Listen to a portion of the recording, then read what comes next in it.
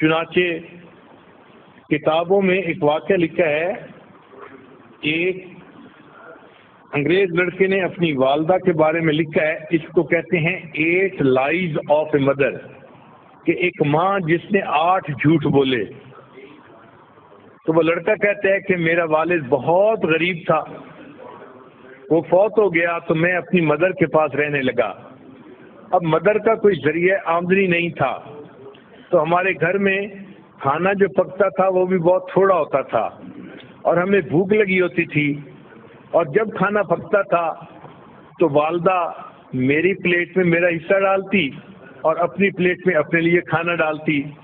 پھر کھانے کے دوران جب میں اپنا کھانا ختم کرنے لگتا تو ماں محسوس کرتی کہ مجھے اور کھانے کی ضرورت ہے، تو وہ اپنی پلیٹ میں سے رائس میری پلیٹ میں ڈال دیتی تھی اور کہتی تھی کہ eat this rice son I am not hungry کہ بیٹے، تم یہ چاول کھا لو، مجھے اتنی بھوک نہیں ہے۔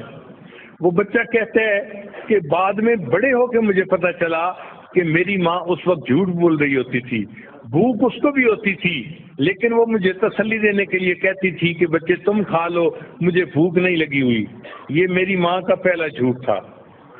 وہ کہتے ہیں کہ پھر چونکہ ہمیں کھانے میں کوئی اچھی نیوٹریشن نہیں ملتی تھی۔ تو جب ویکینڈ آتا تھا، تو میری والدہ مجھے قریب میں ایک ریور تھا، وہاں لے جاتی تھی اور وہاں پہ ہم فشنگ کرتے تھے۔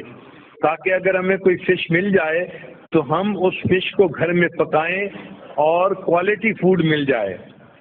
وہ کہتے ہیں کہ ایک دن میں نے دو فشز پکڑی ان کو لے کے جب گھر آئے، تو میری والدہ نے ان کو کوک کیا اور مجھے کھانے کے لیے دونوں دے دی وہ کہنے لگا کہ میں بیٹھ کے والدہ کے ساتھ فش کا کباب کھانے لگ گیا اور چونکہ فش دو تھی اور زیادہ سارے کباب تھے، تو میں اس طرح سے کھا رہا تھا کہ جو فش کی بون تھی، ان کے ساتھ بھی کچھ میٹ لگا ہوا تھا۔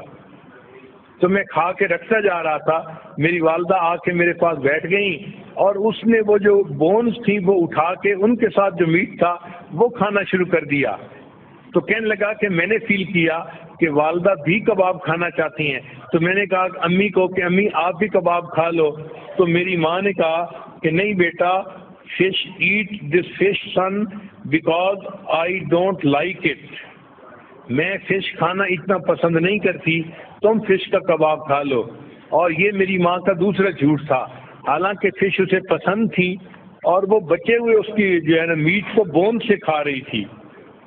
پھر وہ کہتے ہیں کہ میں بڑا ہوا اسکول گیا، پھر ایک دن آیا کہ میری والدہ مجھے امتحان کے لیے لے کر گئی۔ میں کمرے کے اندر امتحان دینے میں مصروف تھا، گرمی تھی اور میری والدہ باہر بیٹھی ہوئی تھی۔ باہر میری والدہ نے میرے لیے ایک کولڈ ڈرنک جو ہے نا، گلاس میں ارینج کیا۔ چنانچہ جب چھٹی کا ٹائم ہوا، میں باہر نکلا تو میری والدہ نے مجھے وہ ٹھنڈا گلاس شربت کا پیش کیا۔ تو میں نے اسے کہا کہ امی، آپ پی لو۔ تو میرا وہ مجھے کہنے لگی کہ بیٹے، مجھے پیاس نہیں لگی ہوئی، تم پی لو۔ تو مالدہ نے وہ سارا کا سارا جوس مجھے پلا دیا اور خود کچھ نہیں پیا۔ یہ میری والدہ کا تیسرا جھوٹ تھا۔ پھر کہتے ہیں کہ جب میں ذرا بڑا ہوا تو میرے اسکول کے ایکسپینسز بھی تھے۔ تو اب والدہ کو کوئی نہ کوئی کام کرنا تھا۔ تو والدہ نے کیا کیا کہ قریب میں ایک میچ فیکٹری تھی تو وہاں سے خالی ڈبے لے کے آتی تھی۔ اور گھر میں رات کو بیٹھ کے ان کے اندر میچ کی میچز کو بھرا کرتی تھی۔ چنانچہ ایک رات میں نے دیکھا کہ والدہ ساری رات جو ہے وہ بیٹھ کے کام کرتی رہی کہ تاکہ اس سے کچھ پیسہ ملے اور میرا خرچہ چلے۔ کہتے ہیں، صبح کے وقت جب میری آنکھ کھلی تو میں نے دیکھا تو میں نے امی سے کہا کہ امی، آپ سو جائیں۔ تو ماں نے مجھے دیکھ کے کہا کہ go to sleep, my dear son. I am not tired کہ بیٹے تم سو جاؤ، میں ابھی تھکی ہوئی نہیں ہوں۔ یہ میری والدہ کا پانچواں جھوٹ تھا۔ حالانکہ وہ تھکی ہوئی تھی، لیکن مجھے اس نے کہا کہ میں تھکی ہوئی نہیں ہوں، تم سو جاؤ۔ پھر وہ کہتا ہے کہ میں نے اسکول میں اچھی پرفارمنس دکھائی، اس کے اوپر مجھے اسکالرشپ مل گیا۔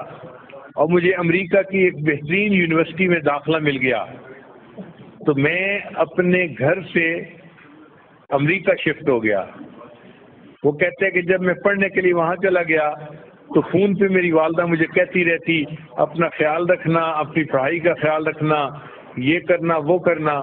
وہ کہتے ہیں کہ پڑھنے کے بعد پھر مجھے ایک جاب مل گئی، تو میں نے ایک گھر بھی کرائے پہ لے لیا۔ اور اور اس کے بعد پھر میں نے شادی کا بھی پروگرام بنا لیا۔ حتیٰ کہ میری شادی ہو گئی تو میں نے اپنی والدہ کو بتایا۔ تو والدہ نے کہا کہ بیٹا، تم اپنی بیوی کو خوش رکھنا اور اپنے گھر میں خوشی سے زندگی گزارنا۔ میں نے والدہ سے کہا کہ بیٹے، کہ امی، آپ یہاں آ جائیں۔ ہم میاں بیوی اکیلے ہیں۔ آپ ہمارے پاس آ کر رہیں۔ ہمیں آپ کی جو ہے وہ کمپنی بھی مل جائے گی اور میں آپ کے لیے اداس بھی ہوں۔ تو میری والدہ نے مجھے کہا کہ نہیں بیٹا، مجھے تو جو بڑے گھر ہوتے ہیں، ان میں رہنا اچھا نہیں لگتا۔ میں اپنے اسی چھوٹے سے کرائے کے گھر میں زیادہ بہتر ہوں۔ یہ میری والدہ کا ساتواں جھوٹ تھا جو اس نے میرے ساتھ بولا۔ پھر میرے پاس چونکہ پے اچھی تھی، تو میں چاہتا تھا کہ اپنی والدہ کو ہر مہینے کچھ نہ کچھ پیسے دے دیا کروں۔ تو میں نے ایک مرتبہ کچھ پیسے اپنی والدہ کو بھجوائے۔ تو میری والدہ نے وہ پیسے مجھے واپس بھجوا دیے۔ تو جب میں نے پوچھا کہ امی آپ نے پیسے واپس کیوں بھجوائے؟ تو والدہ نے کہا کہ بیٹا میرے پاس انف بنی تھی، مجھے اور پیسے کی ضرورت نہیں تھی۔ یہ میری والدہ کا جو ہے وہ ساتواں جھوٹ تھا جو اس نے میرے سامنے بولا۔ پھر کچھ ایسے دن گزرے کہ والدہ نے فون میں مجھ سے رابطہ نہیں کیا۔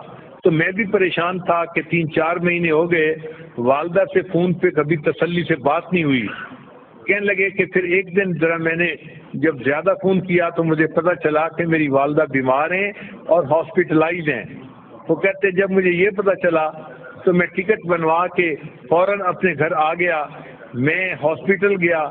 میں نے جب اپنی والدہ کو دیکھا تو میری والدہ بالکل ہڈیوں کا ڈھانچہ بن گئی تھی۔ اس نے بہت سارا ویٹ لوز کر لیا تھا۔ اور جب میں وہاں وارڈ کے اندر داخل ہوا تو جو نرس تھی، اس نے مجھے بتایا کہ تمہاری والدہ کینسر کی مریضہ ہے، اس کو چیسٹ میں کینسر ہے اور اس کو بہت پین ہوتی ہے، تو تم اپنی والدہ کا ذرا خیال رکھنا۔ تو اس نے مجھے یہ انفارمیشن دے دی تھی۔ چنانچہ جب میں نے والدہ کو دیکھا کہ وہ اتنی اتنی کمزور ہو گئی ہیں اور اتنا ویٹ لوز کر لیا ہے، تو میری آنکھوں میں سے آنسو آ گئے۔ میں نے رونا شروع کر دیا۔ تو والدہ نے مجھے روتے دیکھ کر کہا کہ بیٹے don't cry I am not in pain کہ بیٹے تم رو نہیں، مجھے کوئی درد محسوس نہیں ہو رہی۔ وہ کہتے ہیں کہ یہ آٹھواں جھوٹ تھا۔